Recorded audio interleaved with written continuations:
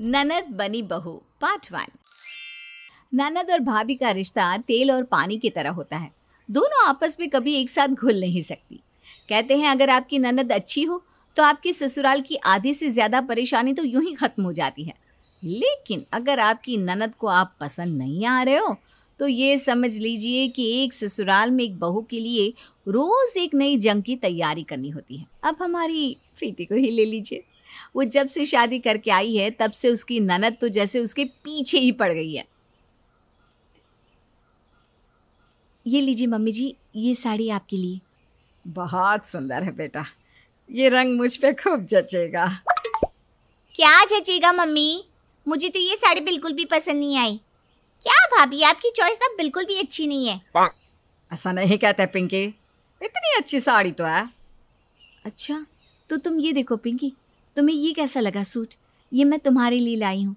इसके साथ मैचिंग झुमके भी है। ये कैसा ये रंग का सूट है? अब जानबूझकर ये गंदा सा रंग लाई है ना मेरे लिए। जिसे मैं इसे पहनूं तो अच्छी ना दिखूं। देखा मम्मी ये आने से ही कैसा बर्ताव कर रही है मेरे साथ? अरे नहीं नहीं नहीं तुम मुझे गलत समझ रही हो। तुम एक काम करो तुम्हें जो भी सूट इनमें से अच्छा लगता है वो तुम रख लो। पिंकी देख कितना ख्याल रख रही है तेरा। और तू है कि चल अब जो भी सूट चाहिए ले ले इसमें से। हाँ पहले कहेंगी कि सूट ले ले फिर कहेंगी ननद ने मेरा सूट ले लिया। मैं सब समझती हूँ इनकी चलाकियों को। नहीं चाहिए मुझे कुछ भी। जा रही हूँ मैं। और पिंकी वहाँ से उठकर चली जाती है। मम्मी जी सच में मेरा ऐसा कोई इरादा नहीं था। और मुझे अनुज ने बताया था कि ये पिंकी का पसंदीदा कलर है। इसलिए मैंने सबसे सुंदर सूट ही उसके लिए पसंद किया था। अरे नहीं बहू तुम्हारी गलती बिल्कुल भी नहीं है। पिंकी का स्वभाव ही कुछ ऐसा है। तुम चिंता मत करो धीरे धीरे वो सब समझ जाएगी। जी मम्मी जी मैं कोशिश करूँगी कि मैं उसका दिल जीत पाऊँ। पिंकी को हर छोटी बात पे प्रीति से प्रॉब्लम थी। प्रीति जो भी करती पिंकी बस उसे नीचा दिखाने में ही लगी रहती। मम्मी जी अनुज पिंकी सब लोग आ जाइए खाने पे। अरे वो खुशबू तो बहुत अच्छी आ रही है। क्या बनाया आज? हाँ खुशबू तो कमरे के अंदर तक आ रही है। मैंने आज पिंकी की पसंद के छोले भटूरे बनाए। देखा माँ अब भी ये मुझे दुखी करना चाहती हैं। अरे अब क्या किया प्रीति ने? आज तो तेरी पसंद के छोले भटूरे बनाए हैं। तुझे तो खुश होना चाहिए। आज मेरे पेट पे बहुत दर्द है। इसलिए मैं छोले नहीं खा सकती। पर देखो भाभी को तो जानबूझकर आज ही छोले भटूरे बनाने थे जिससे मैं खा न सकूँ और मेरा मन जलता रहे। अरे पिंकी वो मुझे नहीं पता था कि तुम्हारे पेट में दर्द है। नहीं तो मैं छोले बनाती नहीं सच में। बस बस अब ज़्यादा सीधी बनने का नाटक मत कीजिए आप। मैं आपको खूब अच्छे से पहचान गई हूँ। बॉस पिंकी कब से देख रहा हूँ? तू प्रीति को सुनाई जा रही है। वो तेरा इतना ख्याल रखती है फिर भी तुझे हर बात पे प्रीति से प्रॉब्लम होती है। मैं कुछ नहीं कहता इसका मतलब ये नहीं कि तू इसे कुछ भी कहेगी। देखा माँ आज तक भैया ने मुझे कभी नहीं डांटा और आज भाभी की आती मुझ पर चिल्लाने लगी। ये है भाभी जो मेरे खिलाफ भड़काती रहती है तभी तो। प्रीति ने मुझसे आज तक तेरे बारे में कुछ नहीं कहा। पिंकी तेरी हरकतें ही ऐसी हैं। पिंकी अब सच में ना बहुत ज़्यादा हो रहा है। प्रीति तेरे साथ इतना अच्छा चलती है फिर भी तू हर बार उसी को गलत साबित करती रहती है। हाँ मैं ही गलत हूँ। भाभी ही सही है। चली जाती हूँ मैं यहाँ से यही चाहती हूँ ना। पिंकी देखो गुस्सा मत हो। मैं तुमसे सॉरी कहती हूँ ठीक है? आ जाओ बैठ जाओ। यहाँ बैठो प्लीज़ कुछ खा लो। नहीं ये सब करने की ना कोई ज़रूरत नहीं है। सबकी डांट से पेट भर गया मेरा। प्रीति को इस बात से काफ़ी बुरा लगा कि उसकी वजह से पिंकी को डांट पड़ी और सबका मूड भी खराब हो गया। प्रीति सब कुछ ठीक करना चाहती थी पर वो जो भी करती पिंकी को कुछ भी पसंद नहीं आता था। अनुज मैं सोच रही थी कि हम कहीं बाहर चलते हैं। हाँ पिक्चर देखने चलते हैं। बहुत वक्त हो गया नहीं गया ना? हाँ चलो मज़ा आएगा। चलो पिंकी तुम भी हमारे साथ चलो। तुम्हारा भी मूड अच्छा हो जाएगा। हाँ हाँ चल तू भी तैयार हो जा हम तीनों साथ में चलते हैं।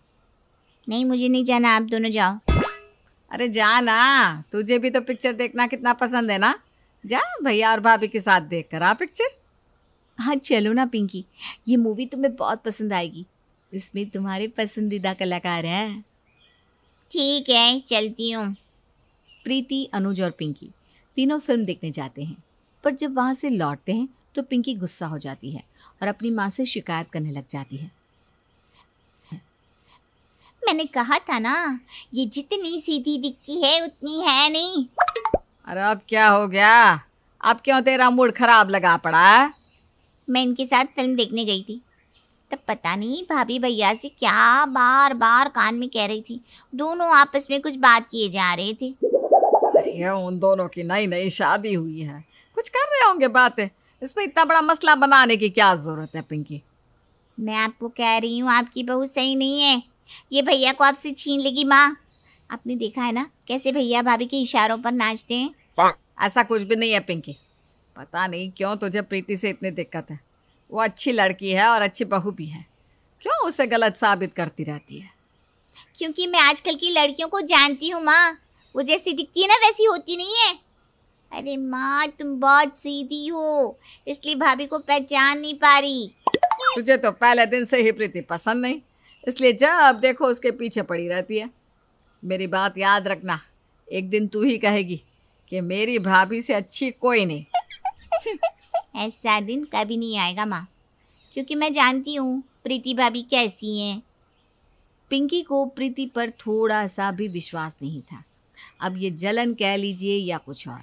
पिंकी ने कभी भी प्रीति की किसी भी बात को सही नहीं माना। उसे हमेशा लगता था कि प्रीति कोई ना कोई चाल चल रही है। धीरे धीरे प्रीति ने भी पिंकी की बातों का बुरा लगाना छोड़ दिया था। कुछ वक्त के बाद पिंकी के लिए एक बहुत अच्छा रिश्ता आया और उसकी शादी भी तय हो गई। पिंकी, ये देखो, ये लहंगा तुम पहनोगी तो बहुत अच्छा लगेगा। इसके साथ ये मैचिंग ज्वेलरी भी है। हाँ अब तो आप खुशी होंगी ना भाभी। अब तो मैं इस घर से जा रही हूँ। आपको परेशान करने वाला, आपको ताने मारने वाला, अब कोई नहीं होगा यहाँ। अरे पिंकी, तुम ऐसा क्यों कह रही हो? तुम्हारे जाने के बाद मैं तुम्हें बहुत मिस करूँगी सच में। हमारे बीच जो ये खट्टी मीठी नोक झोंक होती है ना उसे भी मैं बहुत याद करूँगी। हाँ बस ये तो ऊपर से दिखाने के लिए है बाकी पूरा सच मैं भी जानती हूँ।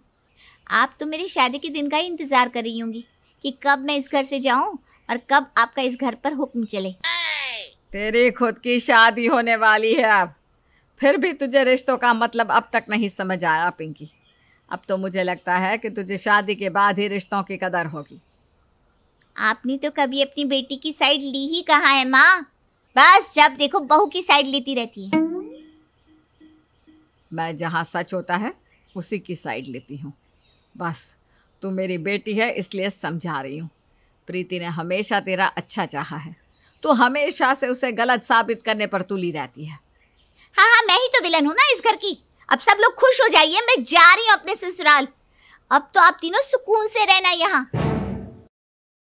अरे कब आएगा वो दिन? पता नहीं क्यों इसकी शादी का दिन इतनी देरी से क्यों रखवाया माँ? जल्दी मुहूर्त निकलवाना चाहिए था ना। भैया! इसका पति भी सोचेगा जितने दिन मुझसे दूर रहे उतना अच्छा है। अरे चुप करना मत छेड़ इसे।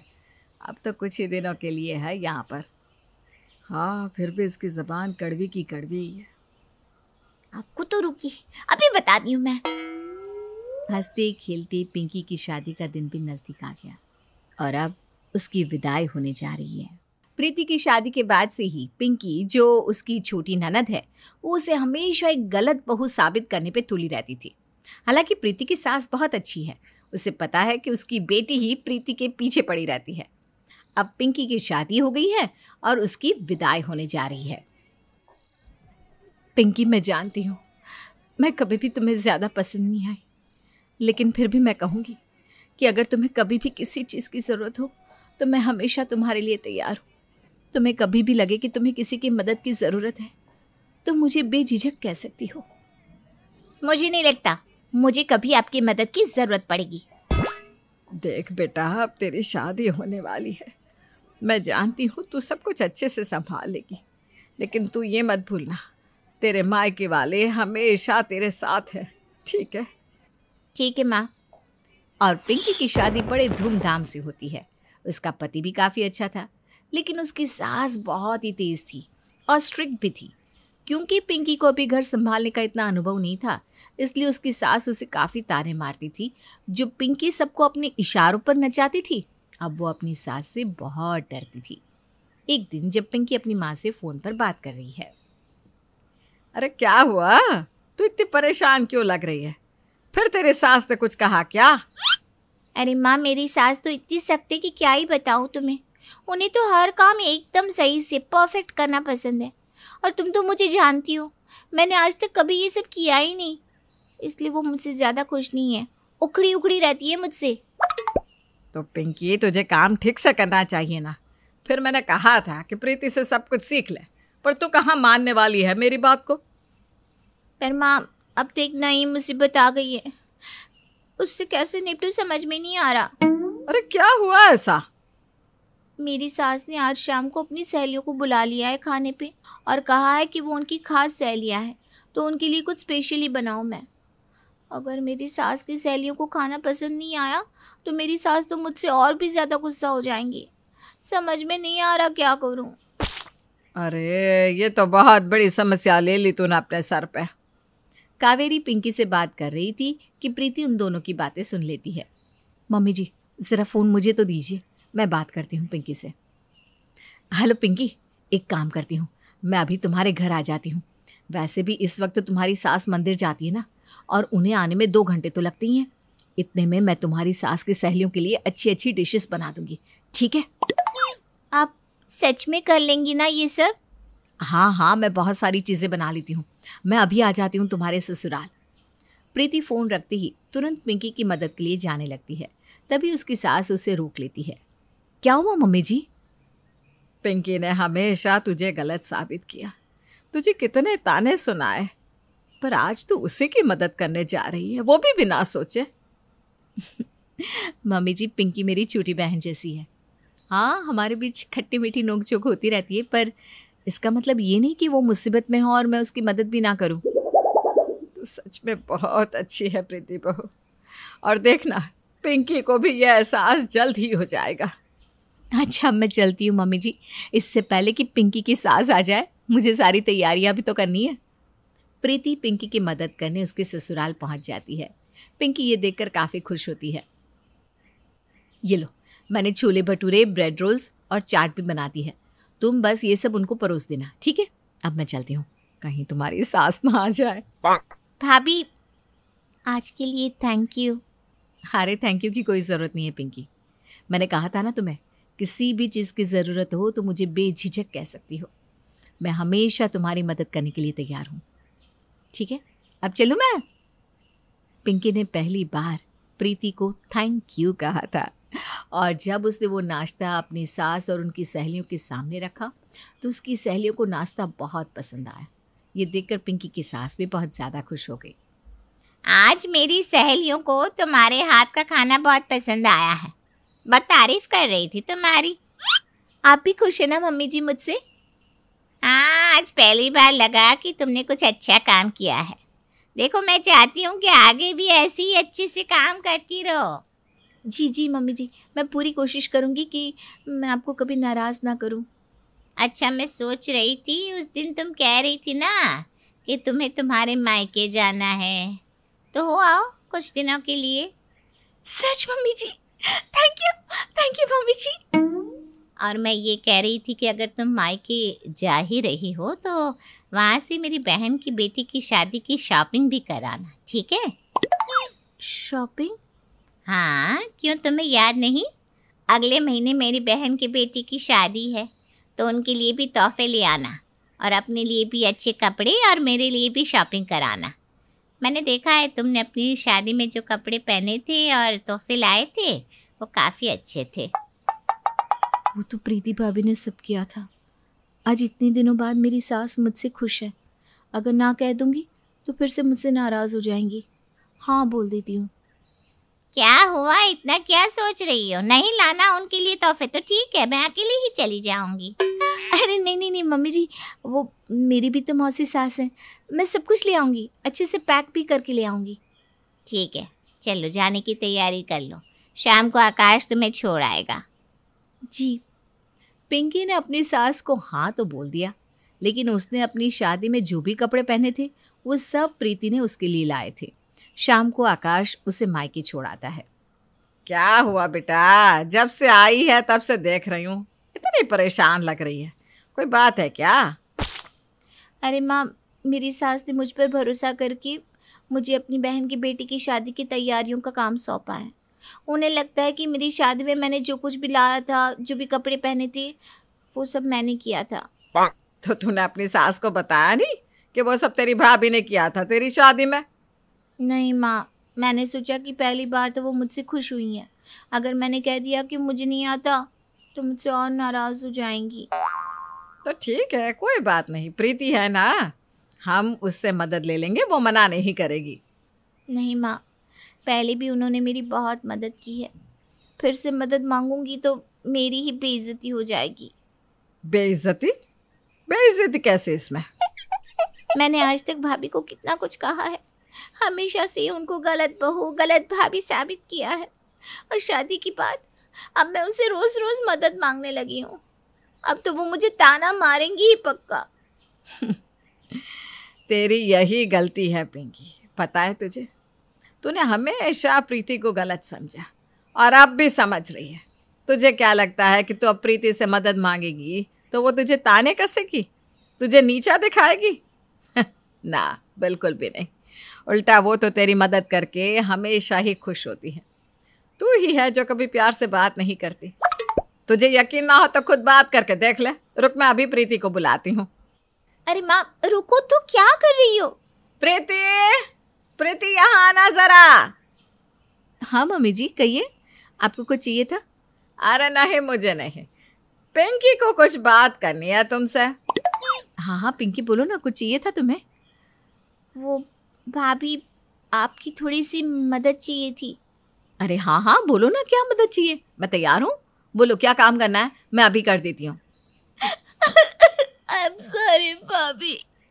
मैंने आपको बहुत गलत समझा। प्लीज़ मुझे माफ़ कर दीजिए। मैंने आपको क्या क्या नहीं कहा। आपको हमेशा गलत साबित किया। पर आपने कभी मुझे अकेला नहीं छोड़ा। हमेशा मेरी मदद की कभी ताना नहीं मारा। और आज आपकी वजह से मेरी सास मुझसे इतनी खुश है। अरे, पिंकी पिंकी, रो मत।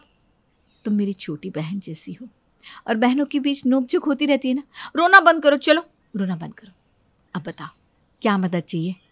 और प्रीति की मदद से पिंकी अपनी माँ से सास के लिए इतने अच्छे तोहफे और कपड़े लेती है कि जिसे देखकर उसकी सास फूली नहीं समाती।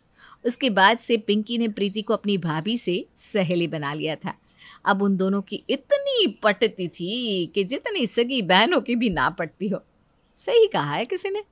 जब ननद खुद बहू बनती है, तब उसे अपनी भाभी की कदर समझ आती है।